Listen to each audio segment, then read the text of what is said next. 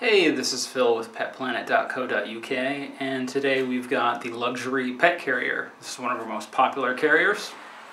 Um, lots and lots of features. Um, you've got storage pockets on both sides and on the front as well.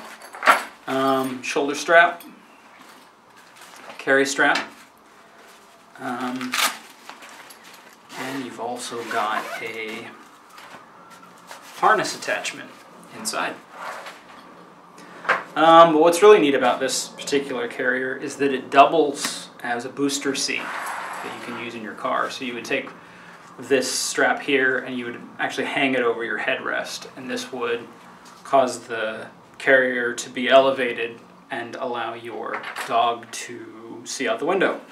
I just recommend that when you do that, in addition to hanging this on the headrest, weave your seatbelt through these straps. It'll make it much, much safer to use. Um, this also folds down flat for storage. So we'll do that real quick.